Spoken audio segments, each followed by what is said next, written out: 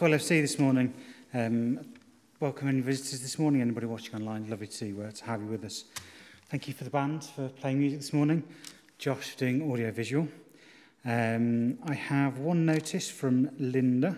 Um, a reminder that there is a coffee morning and plant sale on Saturday from 10.30 till 12. Please bring any donations of plants, etc. from 10.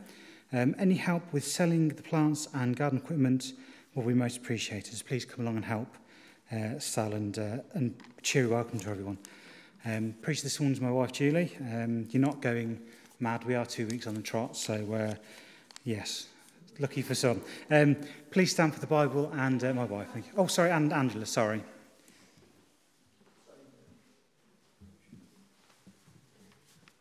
As you've heard, the, the plant sale is next um, uh, Saturday morning, but in the afternoon, um, we at Lillington are hosting um, the members of Rugby, Brinklow and Radford Road who are going to be part of our South Warwickshire group of churches. And we're doing that so that they can meet Nick Stanion. I mean, we've had the fortune of knowing him and meeting him, but there should always be a meet and greet before they actually vote, which they're going to do the next day at their own churches. So we are hosting um, from three o'clock to about five o'clock with a light afternoon tea. It's going to be a bring and share. Um, so, and we'll just do the coffees and teas as well. But it would be wonderful if as many of you as possible could come so you could get to know the people that we're going to be sharing the minister with. Obviously, we know Radford Road folk, but we don't know many people from rugby. So that's from three o'clock. So if anybody can come along and meet people and show them our nice church and just be generally friendly, um, so that we can all learn to work together, um, with hopefully with Nick as our new minister. So that's three o'clock. So if you, if you want to stay to plant sale, go over the road and get a, um, some sarnies from over the road and come back. Very welcome. Okay, thank you. Thank you, Angela. You can tell my mind's running away this morning. Um, can we also make sure our uh, mobile phones are on silence um, or turned off? That'd be lovely. Now, please, can we stand for the Bible and the preacher? Thank you.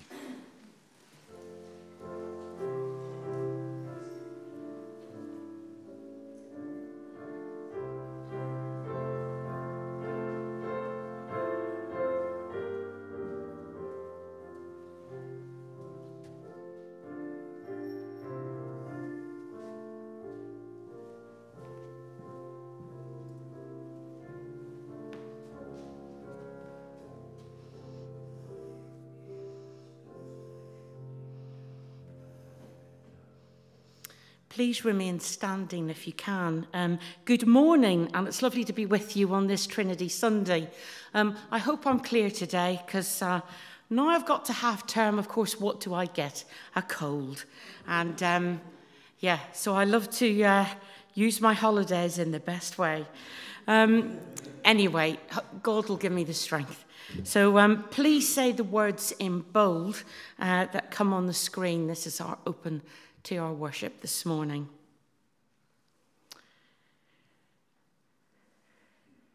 Hopefully.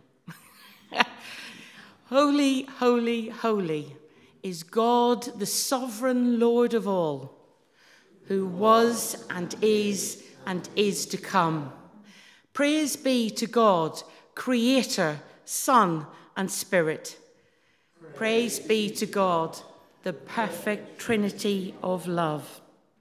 And with these words, we're going to sing our first hymn, which is Holy, Holy, Holy, Lord God Almighty.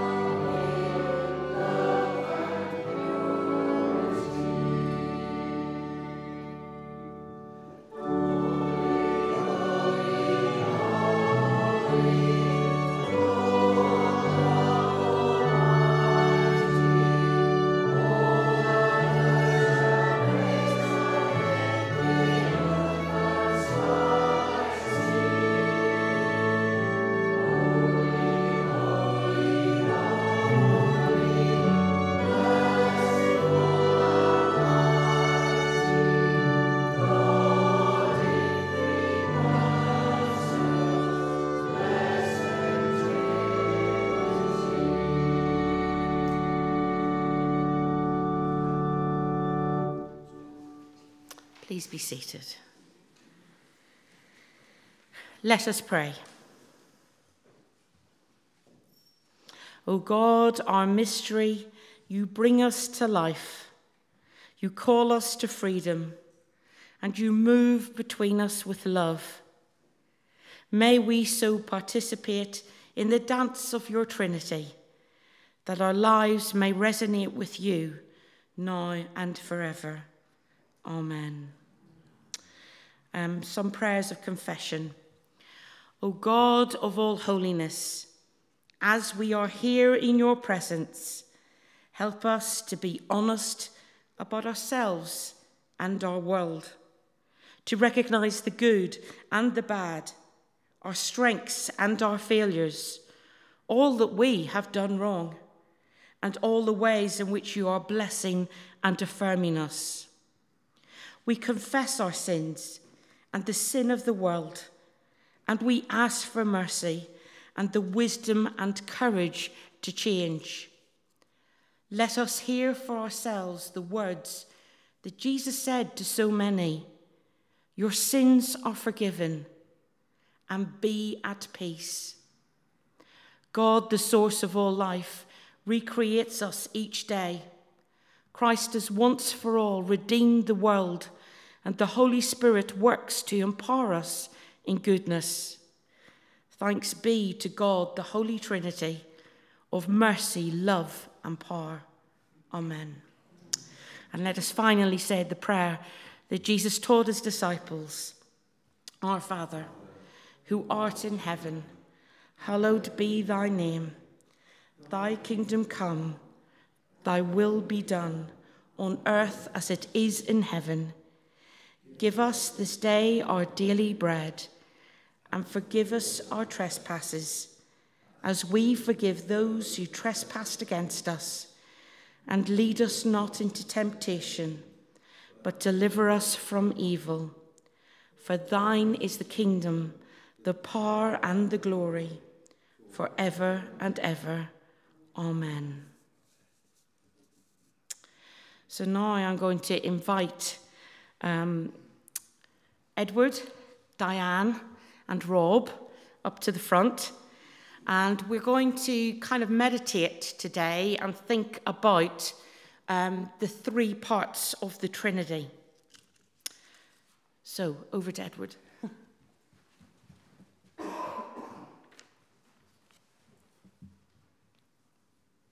the Creator God.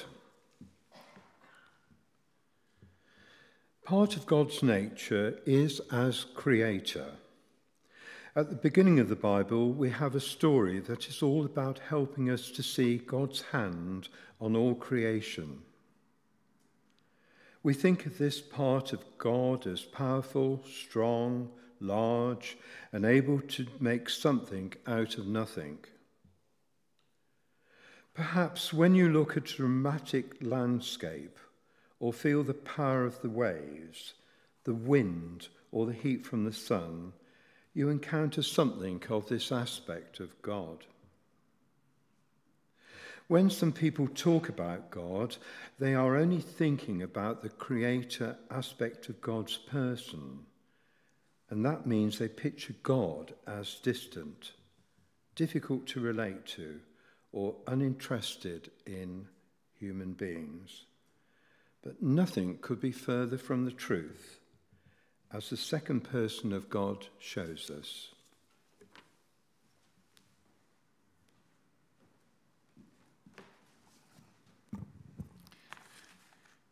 The Christ, the Christian church, is founded on the stories, teachings, and life of the man called Jesus Christ who lived in Palestine 2,000 years ago.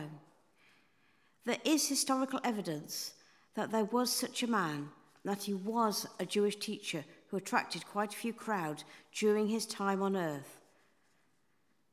However, Christian tradition also teaches us that this man was also somehow fully divine, that he was both God and human. We wrestle with this mystery and try to make sense of it. However you, however you try to understand it, what Jesus Christ shows us is that God is not distant or absent, God is close. The Jesus stories tell us that God comes alongside us in our pain, in our loneliness, and the things we worry about, the relationships we have. God is love, and God shows us how to love by coming as vulnerable, normal, human baby and living alongside us. Christ is God made human.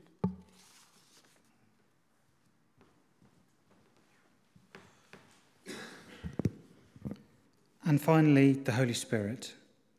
The Spirit is part of God that is still at work in the world, moving amongst us, prompting, prodding, flooding in, and overwhelming us.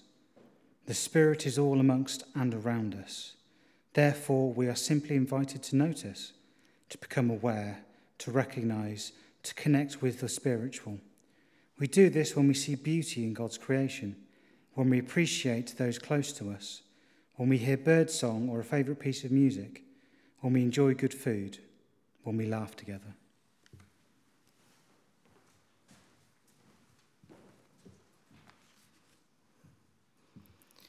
Thank you, Edward, Diane, and Rob. And there you can see the three parts of what is the, the Trinity God the Father, who created the world, God the Son, when he came as a human being to, to our world and to die for our sins, and then to leave us with the Holy Spirit, which is there as a comforter too. So, hopefully, these visions and, and the words that you've just heard will help you think today in the service about the Trinity and how difficult it is at times to explain all of the connections of who our God is. But sometimes we just need to simplify it. God loves us and is three parts in one. And we're going to use these words now um, to sing our next hymn, which is Father, we love you, and we glorify your name.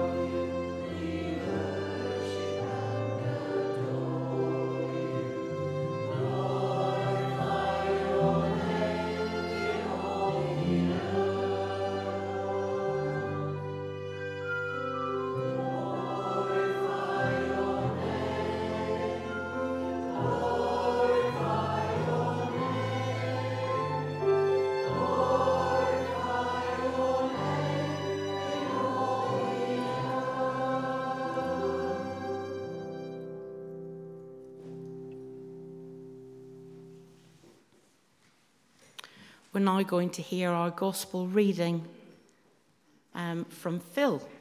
So just getting the mic.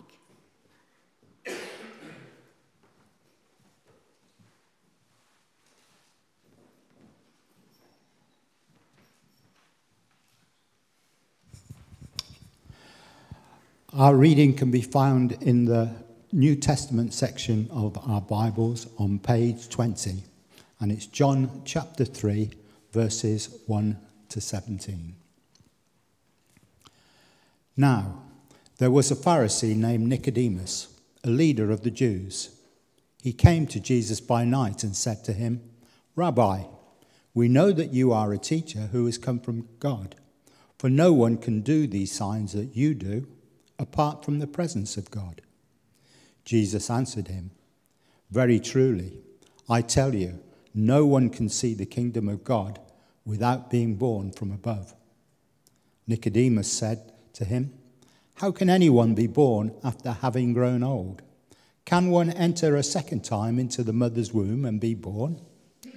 Jesus answered, Very truly, I tell you, no one can enter the kingdom of God without being born of water and spirit.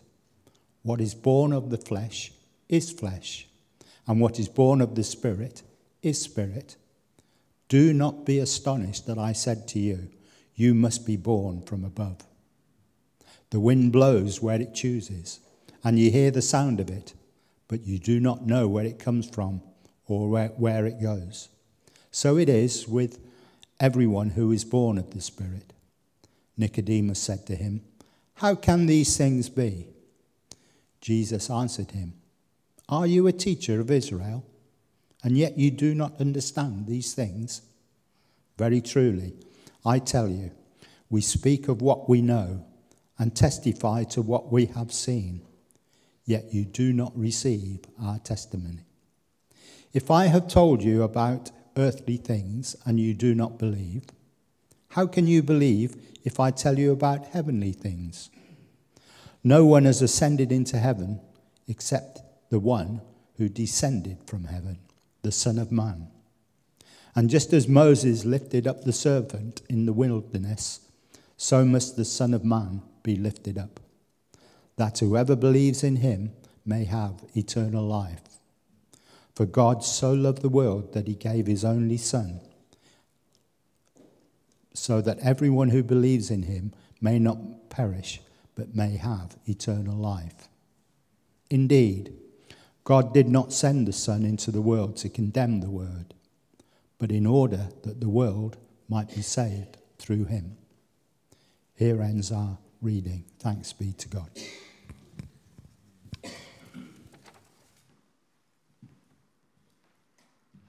Thank you, Phil. We're now going to sing our next hymn, uh, which is In Christ Alone.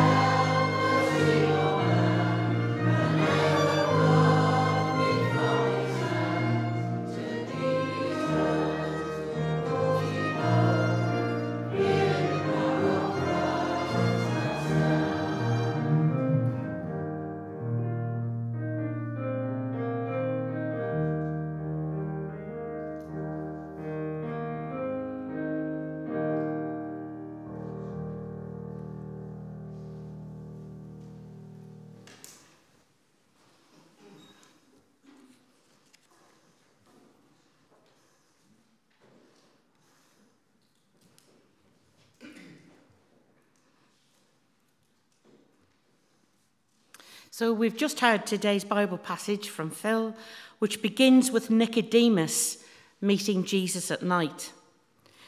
The reason for this secret of meeting at night is probably because of who Nicodemus was. He was a prominent rabbi, greatly respected by his community, and as mentioned in verse 1, was a member of the ruling council. For all of Nicodemus's power, it is both striking and interesting how he recognizes something different about Jesus. Bearing in mind that Jesus would have known the Jewish law inside out, as well as Nicodemus. It was very interesting how Nicodemus was able to see that something else that Jesus could offer. And as he states in verse 2, uh, Rabbi, we know that you are a teacher who has come from God. For no one could perform the signs that you are doing if God were not with him. Nicodemus confirms that he understands Jesus, that he has come from God, although does not go as far as to confirm that Jesus is, of course, the Messiah. That Jesus is that servant that has been sent by God, of course, to do that one and only mission, which is to die for all of us. In verse 3, Jesus replies to Nicodemus Very truly, I tell you, no one can see the kingdom of God unless they are born again. Now, at this point, I can just imagine the conversation and Nicodemus kind of scratching his head at this reply from Jesus. To be born again, Nicodemus is considering this point in human terms. And therefore, that, of course, is impossible to happen. Because Nicodemus says, How can someone be born when they are old? Surely they cannot enter a second time into their mother's womb to be born. But Jesus then explains to him that you cannot enter the kingdom of God unless you are born of water and the Spirit. Being born of the flesh results in more flesh, but being born of the Spirit results in more spirit. Jesus rebukes Nicodemus and he tells him, You are an Israel's teacher and you do not understand these things. Very truly, I tell you, we speak of what we know and we testify to what we have seen, but still people do not accept our testimony. In other words, as our communities try and persecute and deflate our own spiritual experiences by judging what bits they believe and don't believe, without even fully listening to the testimonies of these people that have experienced it, what happens then to our belief? We, of course, know as Christians, by living in a world where there is much news the majority, of course, which all we get to hear, is not good. But nowadays, there's the complication of fake news as well. And people are trying to sift out what is real and what isn't. Because we now have this AI that's coming into technology too. And many different industries, and dare I say it, education, no doubt, will be using this as well. And it's difficult because we should be thinking for ourselves. We shouldn't need a program of any description telling us what to think. The truth is, they don't know what is real and what isn't. And how can they? Were they there? No. So, what usually happens is we judge one another. We presume that the reporter or the news article that we see is correct. And of course, that can be a dangerous path to go down. As Christians, we all need to pray at this time for wisdom to help us sort the wheat from the chaff. The obscure reference to Moses and the serpent in verse 14, I must admit, did make me shiver. I have a massive phobia of snakes. And I think back to why that is. Apart from the fact that Ireland supposedly doesn't have any snakes, because by legend, they were all put into a big box in the Irish Sea, and that's why it's rough. That's what I was told. Maybe that's right, I don't know. Um, but I do remember as a young girl, definitely with a children's Bible, and there were these really expressive pictures of the stories. And of course, there was this, there was Moses, and there was this massive, like python snake wrapped round this pole. And I remember thinking, oh, I don't like that. And um, that vision always stayed with me because ever since, I don't even like seeing them on TV. But of course, that serpent in verse 14 comes from the story of the plague of poisonous snakes amongst the Israelites, and that can be found in obviously the book of Numbers. But in verses 16 and 17, and this is what I feel the crux of the matter, we get that well known verse For God so loved the world that he gave his one and only Son, that whoever believes in him shall not perish, but have eternal life. For God did not send his Son into the world to condemn it but to save the world through him. And Jesus makes it clear that this is God's why. God sends us all the Spirit with love, and we must take up our cross in order to be born again. Augustine once said that if you deny the Trinity, you will lose your soul. If you try and explain it, you will lose your mind. But our passage today touches on the Godhead God the Father, the Son, and the Holy Spirit. Three equally divine persons in one. And through the complexity and confusion in trying to understand it, now is the time to be a Nicodemus, we essentially need to come back to our faith. And John 3:16 does this so well. Everything goes back to the cross. This is what it is all about. I often sit down with a sigh and say, What's it all about? And perhaps this is one of the signs of me getting older, not quite sure. But you find yourself questioning life at certain moments as you go on in your journey.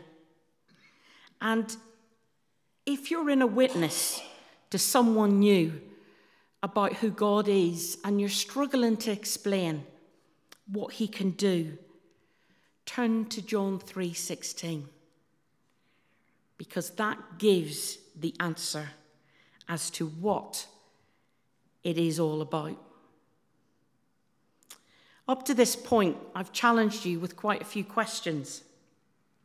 And I've said, Are you ready? Last week, I asked you, Are you ready to be transformed? And today, I want to ask you, Are you a Nicodemus?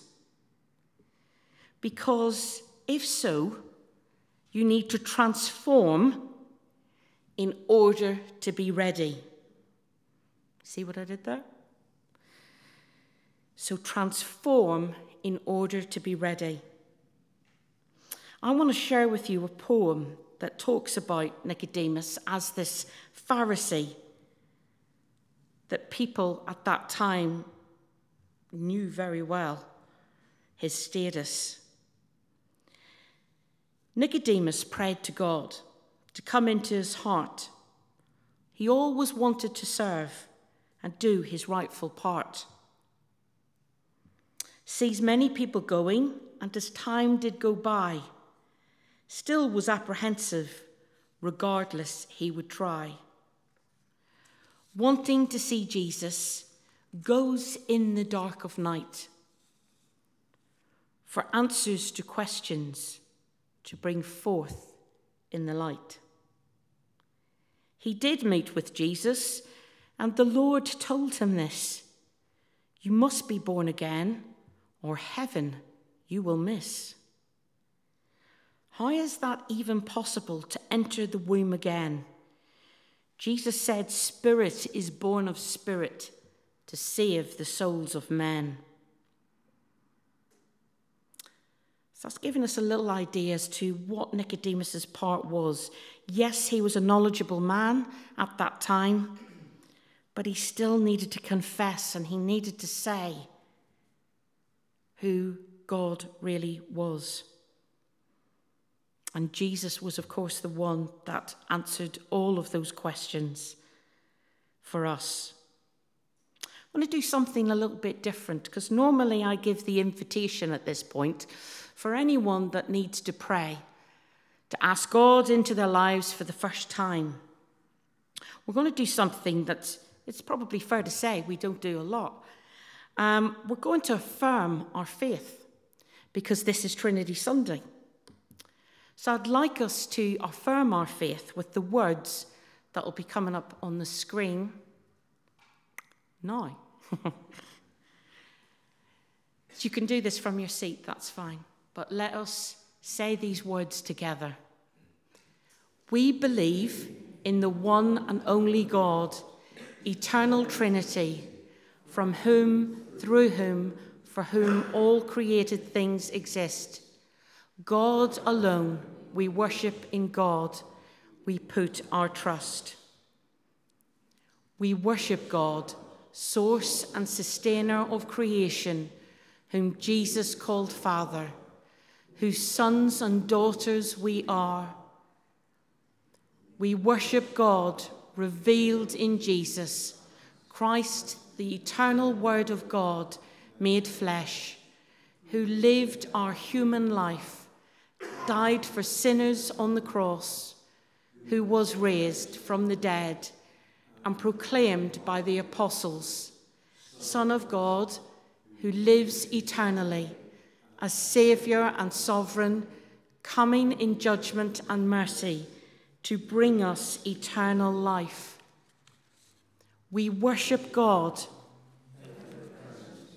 Holy Spirit, who brings this gospel to fruition, assures us of forgiveness, strengthens us to do God's will, and makes us sisters and brothers in Jesus sons and daughters of God.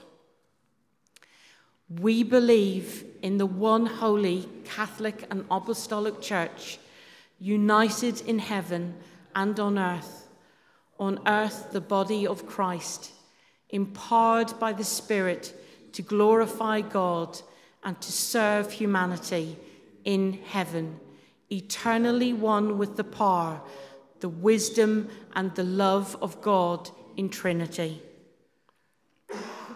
We believe that in the fullness of time, God will renew and gather in one all things in heaven and on earth through Christ and be perfectly honoured and adored.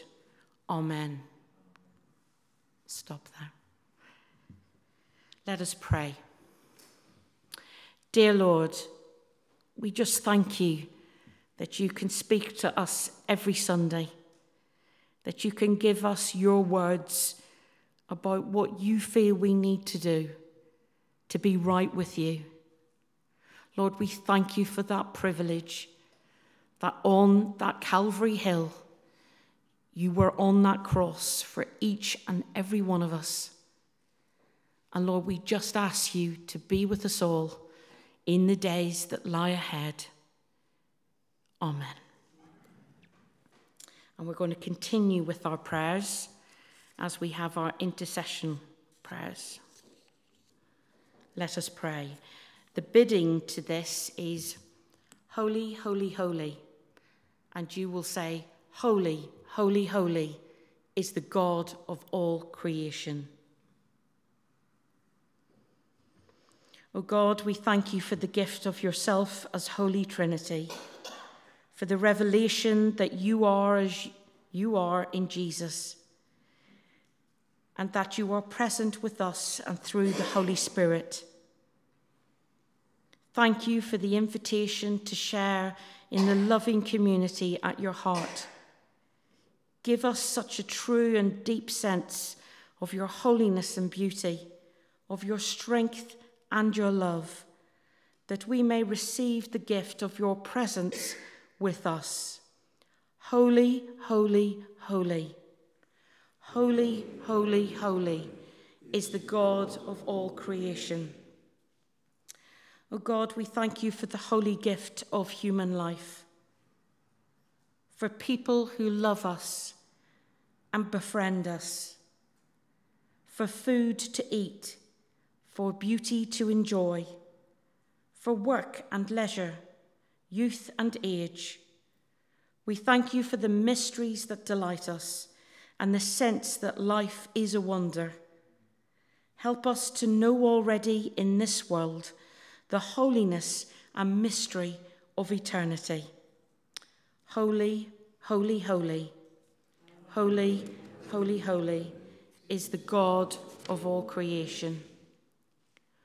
O oh God, we thank you for the world you have made, for its diversity and beauty, and for the people who inhabit it with us. We pray that we will learn how to treasure the holiness of the world and all of its people and its lands. We pray and long for a just and lasting peace in everywhere. Help us to be peacemakers and advocates for justice as you give us power and purpose wherever we are. Holy, holy, holy, holy, holy, holy is the God of all creation. O oh God, we thank you for our friends and our families, for our neighbours and our colleagues. Help us to honour them all as your holy children and to be attentive to the holiness in each person. We pray for those who are ill or in any kind of distress or trouble. Touch them with your peace and help us to bring them comfort and hope. Holy, holy, holy, holy, holy, holy is the God of all creation. And now a time to bring our own prayers before the Lord.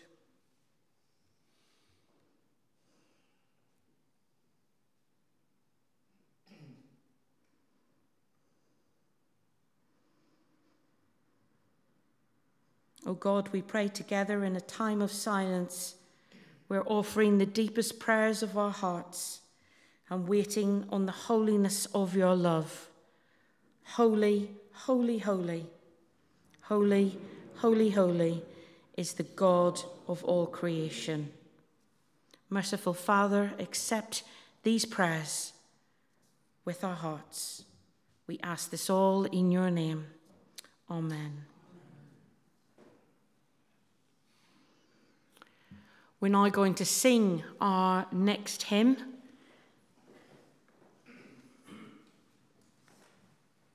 Which explains about God's wonder and his three parts in one. How great thou art.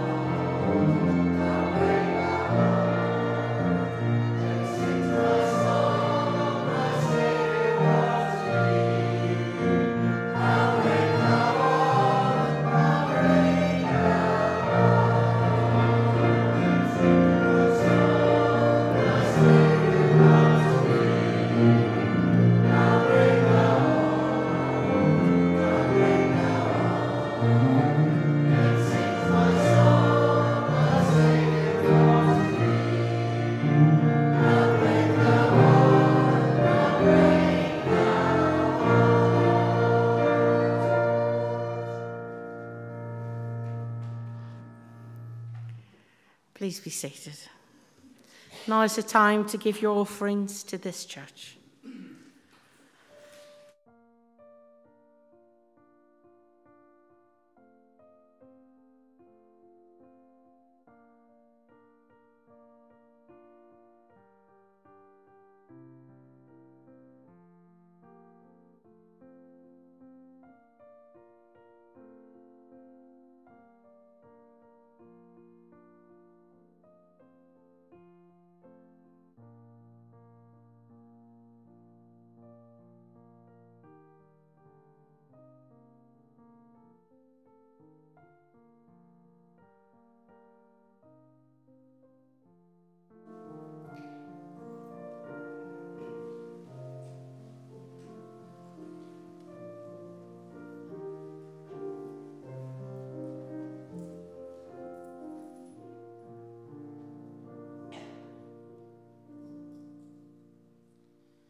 Merciful Father, accept these gifts and with them our lives to be used in service for you through Jesus Christ our Lord. Amen.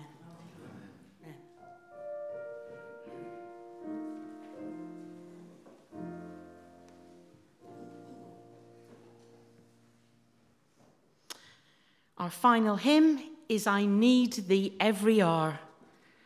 I need thee every hour.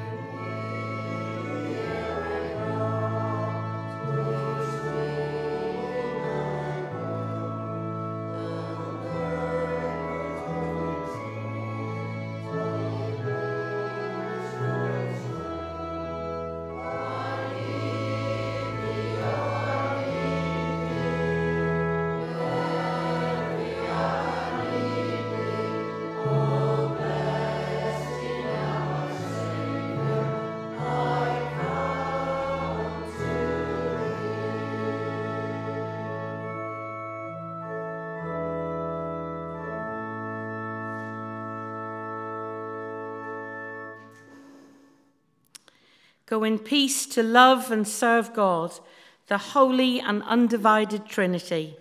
And the blessing of God, Father, Son, and Holy Spirit be with you today and always. Amen. Quite cheeky, but can we sing the grace? I don't think I warned you. Thank you.